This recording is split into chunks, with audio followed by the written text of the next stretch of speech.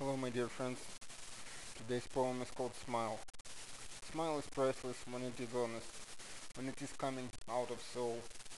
If I light up with enlightening frown, life goes up and never slides down.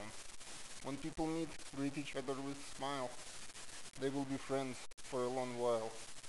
They will be walking, talking and dancing. Also each other they will be romancing. There will be lots of smiles and laughter. Both will live happily ever after.